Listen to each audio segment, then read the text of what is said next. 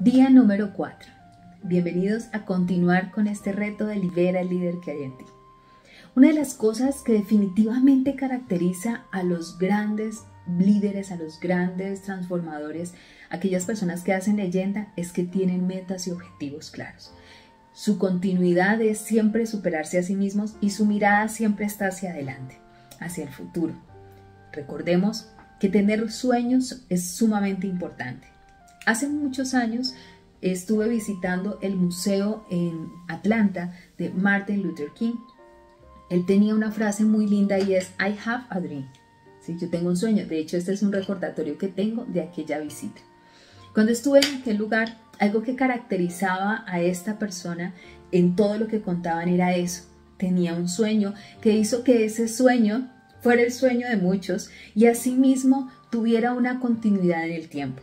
Es decir, la gente seguía a Martin Luther King o seguía su sueño. Y esto es importante que nosotros tengamos en cuenta porque la mayoría de las personas por economía neuronal, por economía de la energía cerebral, es más fácil siempre seguir hacia donde va la gente, hacia donde hay tendencia, porque cuando tú vas a pensar y procesar, definitivamente hay un gasto energético mental. Entonces, es mucho más fácil para las personas saber y seguir a quien sabe a dónde va. Si tú quieres precisamente ser un líder y desarrollar ese proceso de liderazgo, no debes enfocarte en buscar seguidores. No necesitas esto, no necesitas buscar personas que simpaticen contigo. Necesitas tener un sueño y que las personas naturalmente se motiven con tu sueño. Y ahí es donde empieza la formación de grandes líderes y este camino de trascendencia. Ahora bien, ¿Cómo puedo entonces empezar a tener estos sueños? En muchas ocasiones nosotros hemos renunciado a la posibilidad de tener ideas grandiosas o aquellas cosas que hemos querido, bien sea para nosotros, para nuestra familia, para la sociedad en sí. Ya hemos mirado por estar mirando el pasado o por tener excusas, por tener o sentirnos que no podemos y no reconocer nuestras capacidades. Estos pasos ya los hemos venido superando en los días anteriores. Sin embargo, hay un momento en el cual tengo que empezar a decir, yo tengo derecho a soñar. A veces hemos venido de unas familias muy castrantes, familias en las cuales eh, se habla de que llegan hasta ahí, les dicen, por ejemplo, a los hijos es que este tipo de cosas no es como para personas como nosotros, o no sueña con eso para que no se frustre, o la mejor para no lastimarse es no soñar. Y son cosas que son definitivamente limitantes y son miedos de las personas, no son nuestros. El hecho de que algo no haya salido para alguien no quiere decir que tenga que ser así para ti. Recuerda que una persona puede haber tomado una decisión desde el miedo y bajo el sabotaje de sus propias angustias. Tú tienes la oportunidad de escribir tu propia historia. Alguien decía, en ese proceso de escribir tu vida, no dejes que nadie tome el lápiz. Permítete en este momento decir, no, es que es, es cierto, yo tengo que escribir mi propia historia. En algún momento, retomando a Martin Luther King, alguien le había dicho, por un contexto cultural, que no podía compartir por su color de piel tal vez un lugar, una escuela, un autobús, que no se podía llegar a diferentes lugares y en Estados Unidos estaba sumamente sesgado el grupo por ser eh, de línea afrodescendiente. En este momento, cuando él entra en un sueño y dice, no quiero igualdad para todos los seres humanos y en especial para los que están en este tema del color de piel, pues él se abre a esta posibilidad y empieza con un sueño en el cual él quiere esa igualdad y quiere abrir esas posibilidades y a partir de allí, a partir de ese sueño, escala en las leyes, escala en los discursos, escala en los proyectos y empieza a desarrollar ese sueño. I have a dream. ¿Cuál es tu sueño? ¿Cuál es esta posibilidad que tú quieres para ti?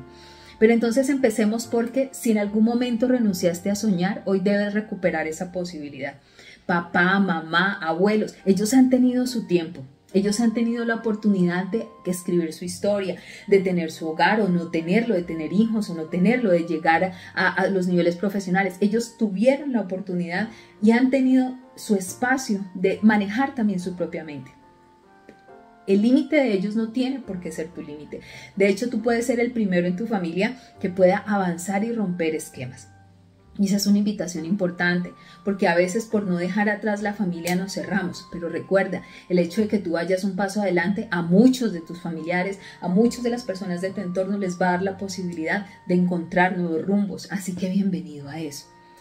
Teniendo en cuenta esta línea en el cual sabes que ahora tú sí puedes escribir tu propia historia y no tienes que escribir, ¿sí? la de otra persona sino la tuya y nadie tiene que tomar tus decisiones sino tú, te quiero invitar a que te permitas hacer la lista de los sueños. Permítete eh, empezar a pensar qué es lo que realmente quieres en tu vida, qué es lo que tiene sentido para ti, qué es lo que tiene importancia para tu proceso de vida. ¿Cuál es tu sueño? ¿Qué es eso que te permite vibrar, que te permite conectarte con todas las posibilidades que están allí para ti? Así que en este momento yo te quiero dar algunas herramientas. Uno, podrías empezar, por ejemplo, a enlistar esas cosas que quieres, con qué sueñas, y pensar en cuáles de esas quieres que se vuelvan metas o realidades en tu vida. Si no sabes cómo hacerlo, te voy a dar algunas recomendaciones. Podrías apoyarte nuevamente en esta agenda Prográmate. Como su nombre lo dice, va dirigido a programar la mente con el objetivo de lograr cosas positivas y cambios en nuestras vidas. Aquí vas a encontrar varios elementos que te guían paso a paso. Por ejemplo, define tu objetivo, cómo aprender a realizar las afirmaciones positivas que te permitan enfocarte en cómo eso se aplica.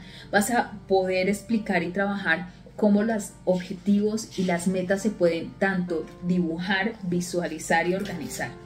En este caso, también te quiero recomendar este ejercicio que aparece ahí y es supera los límites de tus padres. He encontrado en muchos momentos muchas personas que se frenan porque papá o mamá no han ido más allá. Y la realidad es que tú mereces una vida maravillosa y recuerda que los padres siempre quieren que vayamos más adelante. Así que en este momento te recomiendo esta opción donde puedes apoyarte. Otro de los elementos que te pueden ser muy útiles es apoyarte en un material que se llama Nuevo Año. Este es un kit que podrías tenerlo en acceso presencial o también en formato digital en el cual tú a través de varios ejercicios sensoriales vas a darte la posibilidad de crear un nuevo año. Y un nuevo año no inicia cada primero de enero, inicia cada vez que tú quieres. Y aquí hay muchos ejercicios que te van a permitir guiarte paso a paso en la apertura de tus sueños. Y algo más que te quiero recomendar. Podrías apoyarte en el curso Mapa de Sueños que nosotros tenemos en nuestra escuela digital. Acuérdense que tenemos una academia en la cual tú puedes hacer paso a paso. Ahí vas a encontrar un curso que básicamente son varios videos donde de la manito vas a recibir el acompañamiento para soñar, desbloquearte para soñar y adicional a eso, hacer el proceso de no solamente hacer los sueños, sino plasmarlos como órdenes mentales y a, y a la vez poder también hacer a través de un ejercicio gráfico de visualización eh, el enfoque mental para que esos sueños también se den.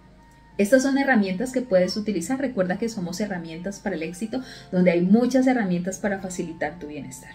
Pero lo más importante hoy es que tú te permitas y te preguntes, ¿cuál es mi sueño? Recuerda, I have a dream.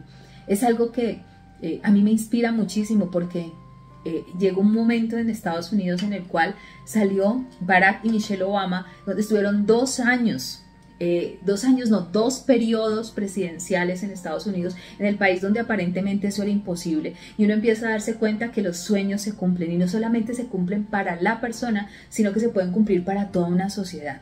Así que es tiempo de que te abras a escribir tu historia, a tener un sueño. Haz una lista de 10 sueños al menos y si estás inspirado, que es grandioso, 20 sueños, escríbelas, no las dejes solamente en la enumeración.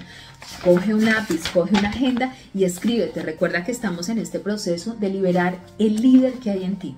Y un líder tiene esa característica, definitivamente sueña. Y en el sueño es donde están la cantidad de oportunidades y posibilidades. Así que Vamos por esos sueños, primero creándolos en nuestra mente y posteriormente dándonos la libertad de manejarlo. Espero tus listas, así que disfruta de este ejercicio porque recuerda, en ti está ya el líder que va a transformar tu proceso de vida.